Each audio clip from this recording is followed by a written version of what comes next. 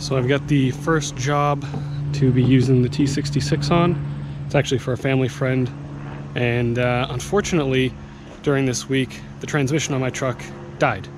Um, just lost all drivetrain and I drifted over the side of the road with the excavator on the back. So uh, luckily I was right down the road from my house and I was able to swap around with my dad's truck and get everything sorted. But uh, currently my truck's at uh, the GMC dealer and it'll either need to be repaired or fully replaced, uh, the transmission that is. So since that's in the shop, we basically just have my dad's truck and the plan for this job is actually to use the excavator and the skid steer because um, we have to pull some stumps, do some grading, and then move uh, some topsoil. So it kind of hits both of these. And what we're going to do here is load this up, but um, of course, of course, with the skid steer here, it's really uh, ass heavy. So on this, uh, so on the ramp here, going up to the dovetail, it actually folds the ramps up and the dovetail gets pushed down. So it really needs some sort of jack underneath it. Since I don't have a jack and I don't really want to weld anything on this right at the moment, I just made up some uh, 4x6 blocks and screwed them together. I'll put these underneath the dovetail when I drive up and that'll keep it from really pushing down and tilting me back and flipping up the ramps. What I'm going to do now is load this skid steer up and drive it on over, drop the machine off, and then tomorrow we can bring the excavator with the dump trailer to take out some material and stumps for them and then next day come back or later that day once we're done the job do the round trip again to get the other machine. So ah, the joys the joys of things breaking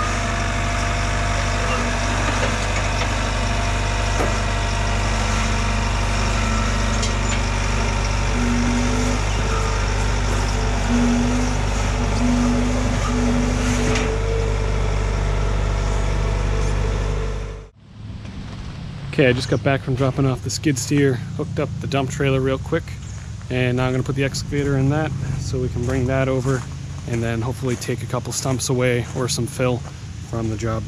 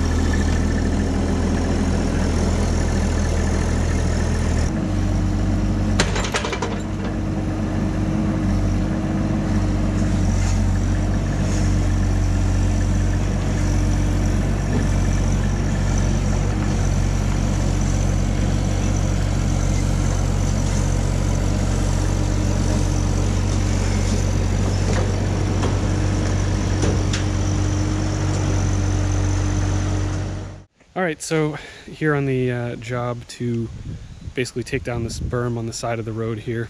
And what ends up happening is all the water shed from the driveway on both ends pools in the middle here. And the goal is to get it to flow out to the side. So we're going to take both machines and carve down the top of this berm here so that he can mow it as well as have it swale down by the bottom and then fill about a foot to two feet of this bottom portion with a one and a half inch angular stone so it can drain without pulling too much sediment. And then back here uh, towards this section is probably the thickest of it. So a lot of this material will have to pull out as well as these bushes. And then since he's pretty close to wetlands, but he can still put some material right off the edge of his property here, uh, we're going to take the majority of it and starting from this end, basically pull that material and be dumping it in this corner and extending this back portion. So the plan will be to start back here with the excavator and basically be making piles and carving out with that and using the skid steer to cut and transport it and then do the grading and spreading of loam with the skid steer. Uh, there's a couple of stumps in here. There's a pretty big one in the, in the front, but it's rotted. So hopefully we can get that out and uh, get everything looking good.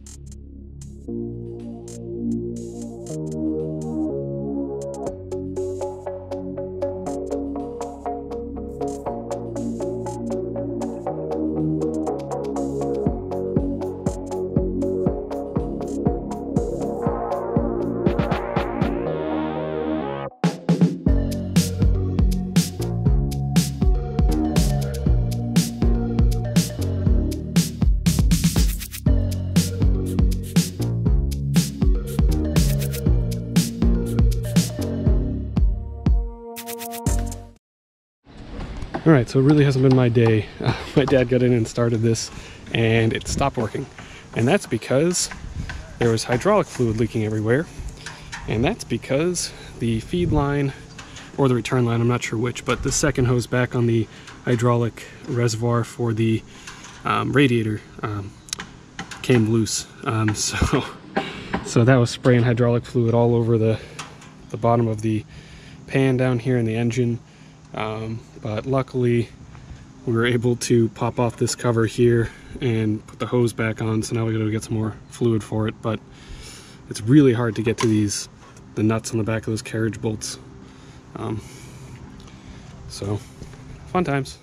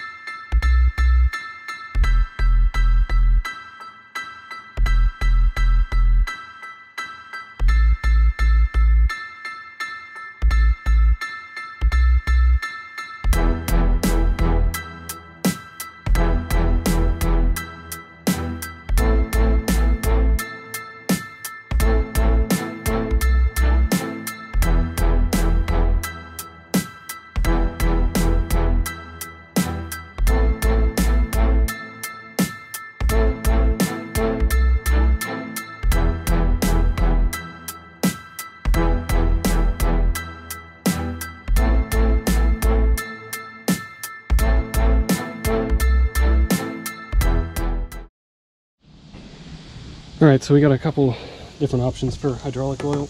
Put this in first.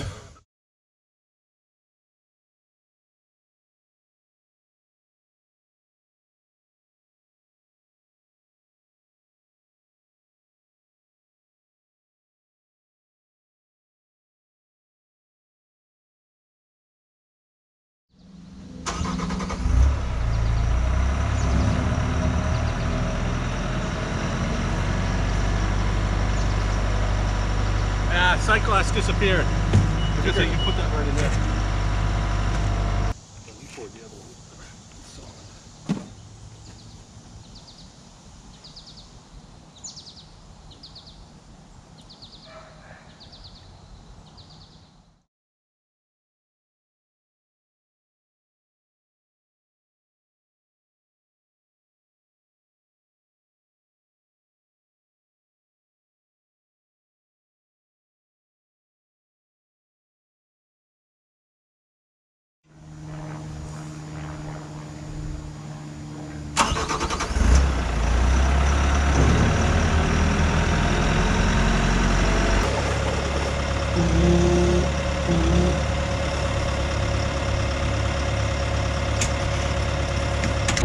All right, so we put about three, three and a half gallons into the uh, hydraulic tank, and we're pretty much full through the sight glass there.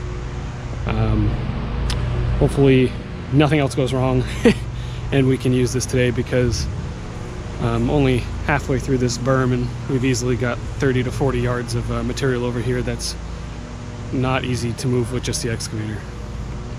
But I got to put some fuel in it.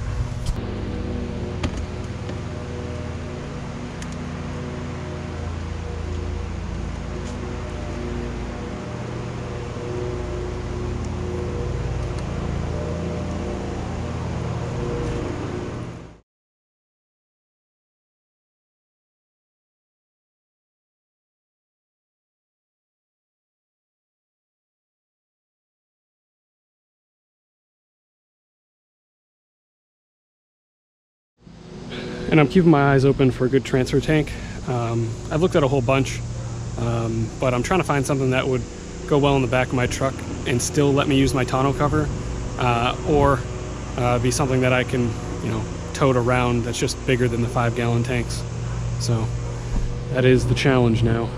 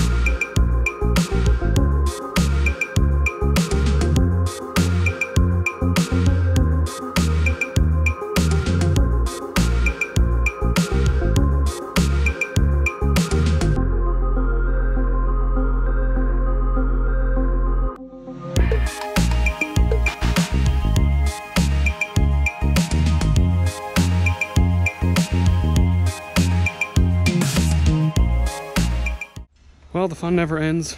Threw a track on this thing, so it's in a nice, inconvenient spot as usual. I have to prop up the back and the front and see if we can pry it back on, maybe use the excavator to push it in. Alright, of course the GoPro stopped recording. I gotta get a new one, uh, either GoPro or another brand, because this camera turns off literally all the time, even if it's in the shade. Nothing wrong with it, so uh, we got the track back on. Uh, took like 40 minutes because it was on the inside, really jammed up. But uh, now I'm just gonna continue down here. I basically have maybe another 50 feet, and then there is a uh, pretty big stump right in here that uh, is pretty rotted, but we'll see how it goes. Uh, and then the goal will be to, of course, have all the water drained on this side and then catch off right around where that stump is. So.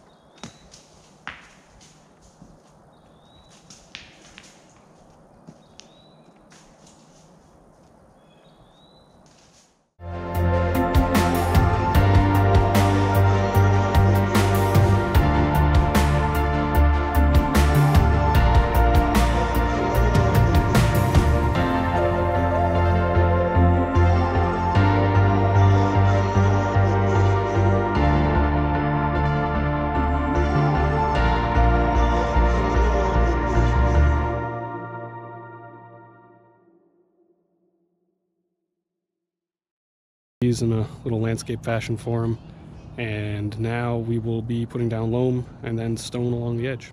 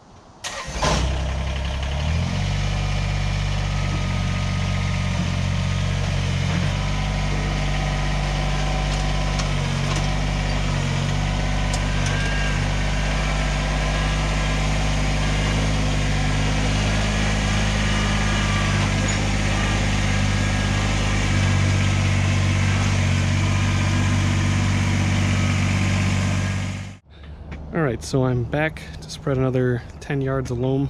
We decided to do a bit more in the back, and for that I just brought the tractor to be as minimally invasive as possible.